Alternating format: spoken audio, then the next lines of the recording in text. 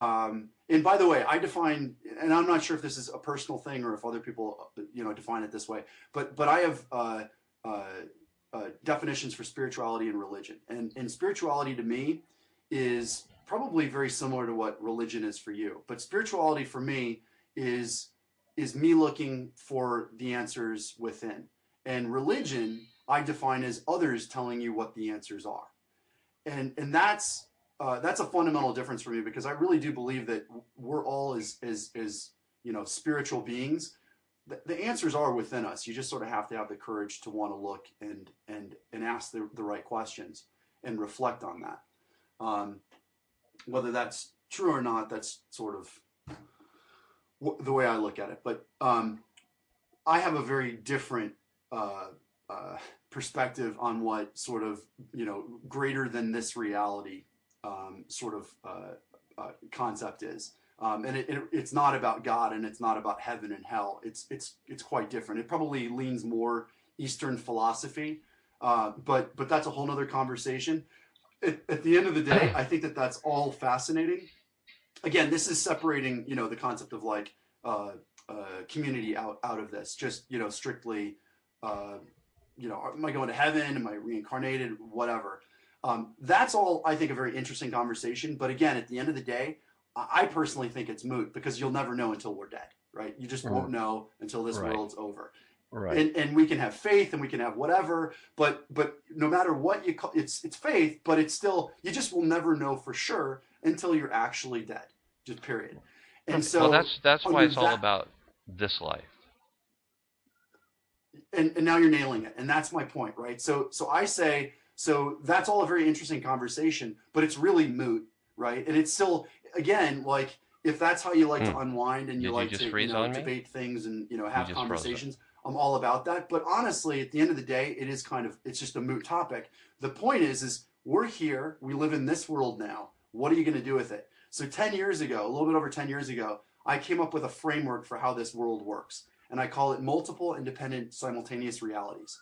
And basically, what that means is is that we're all coexisting in independent realities, but we all have our own reality. So your reality is different than my reality, is different than your wife's reality, is different than Joe's reality, is different than everybody's reality. It's it's a constantly evolving fingerprint that's based on every experience you've had since birth and the way that you physically perceive the natural world through your senses. So like taste, touch, smell, sense, etc.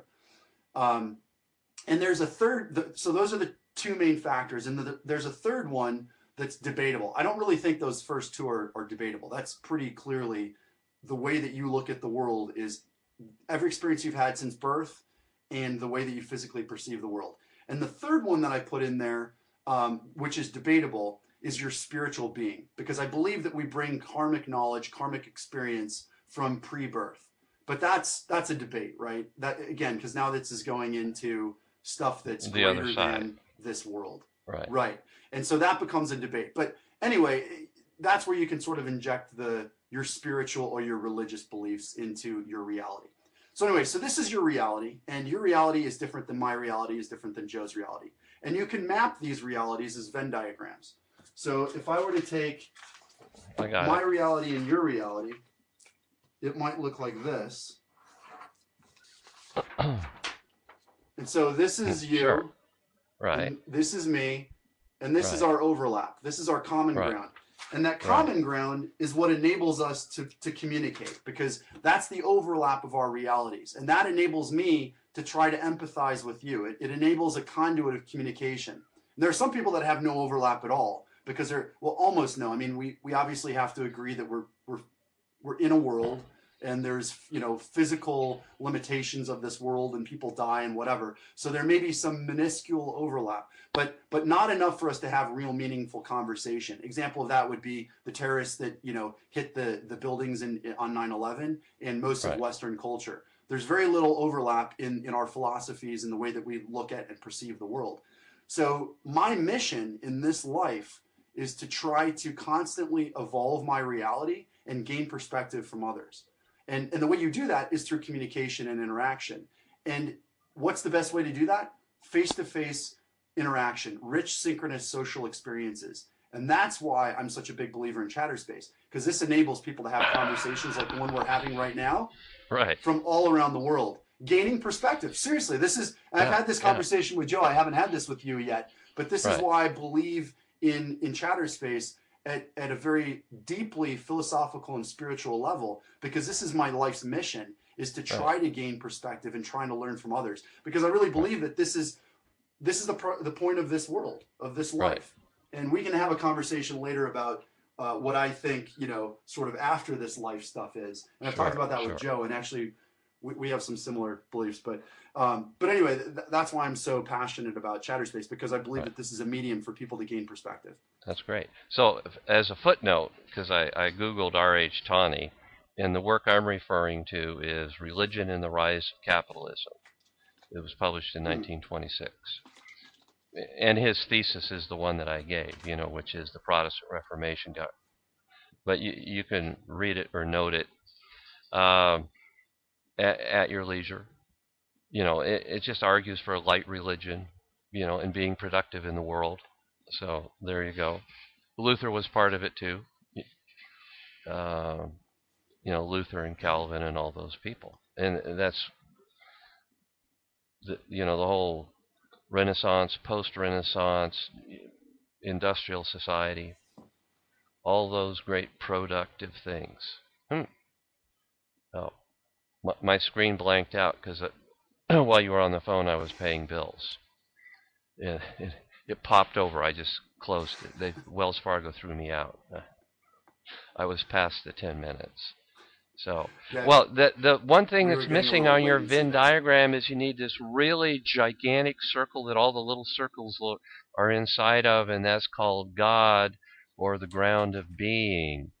Uh, okay that that's Big, that's a different big though, one. I think. Uh, I, I I think that that uh, okay again this is all I it's perspective I guess and it's all opinion. But but in in the framework that I created multiple independent simultaneous realities it's all based in in this reality.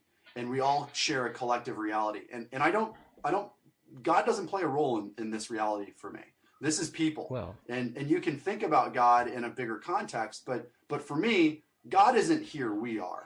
God can maybe Mhm. you know be Mhm. present in the people's minds that live here, but God is not present here for me, and that's again my reality and my perspective, which is again different than everybody else's.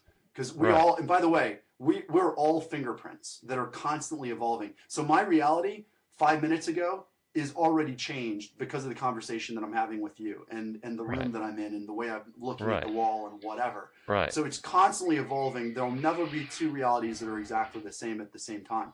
So um, that's I, I don't see that that big um, uh, sort of circle uh, that that you're describing in, in the way that I look at the world. What I do see though are are patterns. So in the very very micro, there's uh, where do I put it? There's there's you and me, right? And then if you take if you if you were to map larger areas like Scott